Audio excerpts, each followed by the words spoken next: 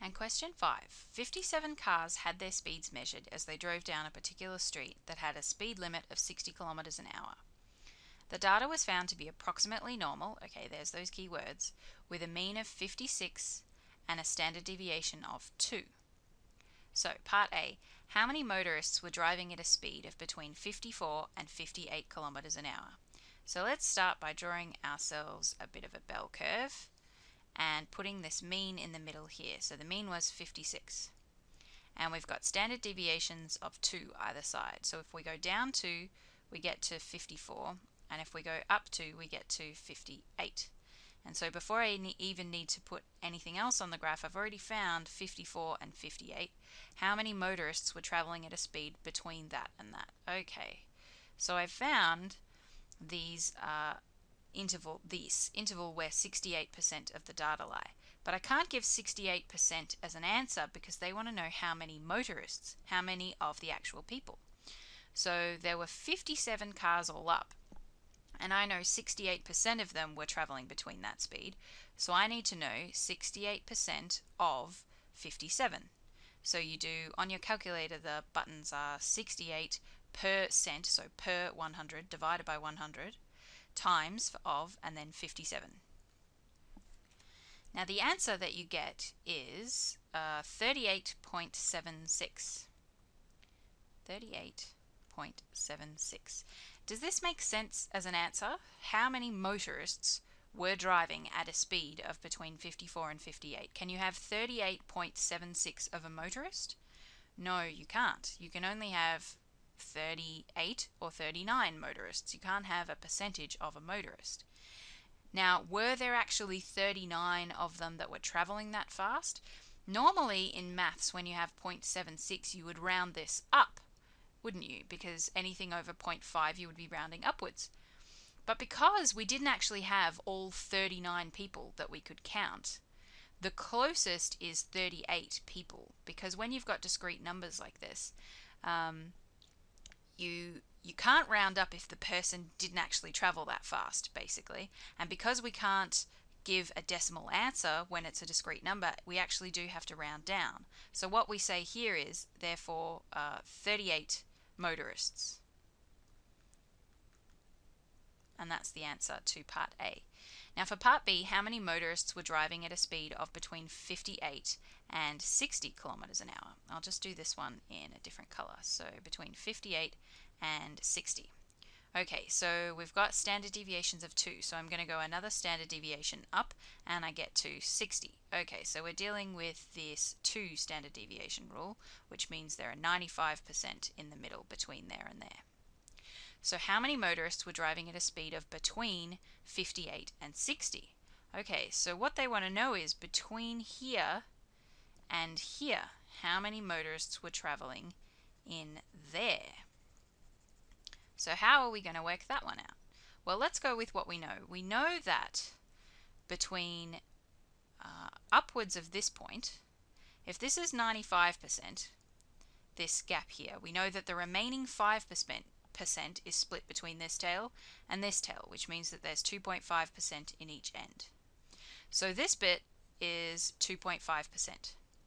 We also know that this whole tail, which I'll just draw in pink, Oh, actually, that looks a lot like the purple. I'll do this in red. Oh, um, I'm running out of colors. We'll have to go with black. Boring color, but anyway. We know that this whole tail here, if we've got 68% in the middle, we know the remaining 32 is split between the two tails. So this whole tail is 16%, which is half of that 32. So if I've got this big black bit is 16%, and I've got a little blue bit inside it there that's 2.5%. What I need to do to work out the difference between here and here is to say 16 minus the 2.5. So 16% minus percent minus 2.5% is 13 sorry, I've gone off the edge of the screen, is 13.5%. So that is the answer, in a sense, to this, what's traveling between here and here. But to complete the answer, we need to say how many motorists. So we know it's 13.5% of them. So on the calculator, we do calculator, we do 13.5% of 57, which is 7.695. Now we have the same problem that we had in the last question in that we didn't have 7 motorists and we didn't have 8 motorists, but we can't round this up to 8 because we didn't actually get to 8 in our measurement. So we have to round down, even though every fiber in your being is saying it's a 6, you need to round it up. But because we're talking about discrete numbers, we round this down, and so we have 7 motorists. Okay, so part C. Now they want to know how many motorists were speeding. Okay, so what is speeding defined as? We've set up here the speed limit is 60 kilometers an hour. So they want to know how many people were going above that speed. We've already worked out that 60 falls two standard deviations up from the mean. So all we need to work out is what's in this remaining section here, which we've actually, actually already done as part of this previous question. We worked out that if there's 95 in the middle, that remaining tail must be 2.5%. So how many motorists were speeding? The answer is not 2.5%, it's 2.5% of this 57. So we say 2.5% of 57 and we get 1.425. Now in this case, we think, oh, we should round it down. And it turns out because you can't have 0.7 of a person, things like that, we are going to round it down anyway. And the answer is there was one motorist speeding. That's how you work out that question. For people who are feeling confused about why I rounded those, um, the purple number and the blue number down for part A and B, I'm just going to say one more time quickly. First of all, don't worry about it too much. This really rarely comes up in a further maths exam. Um, I haven't seen it in an exam for a while. I can't remember seeing one. Most of the time they'll give you continuous data so you don't run into this problem. But this is the reason for it, just in case you're interested. It's because it's discrete data, because we're counting people. So let's say, for example, we're giving people speeding tickets for if they're speeding. Now, part C, there was actually only one person speeding, but let's just say anything above 54 kilometers an hour was speeding.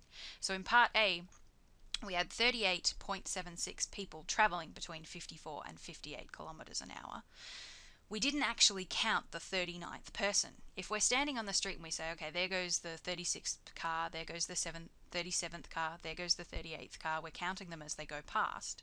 We haven't actually counted the 39th. We're just almost up to counting it. It's like if one comes past every 10 seconds, we're almost ready for another car to come past, but it hasn't got to us yet before we stop.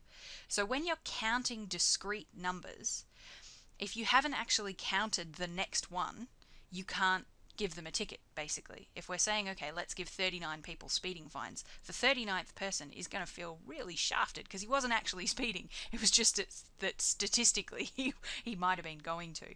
So when you're counting people or discrete data like cars or something like that where you can't have a percentage of it, then you have to round down.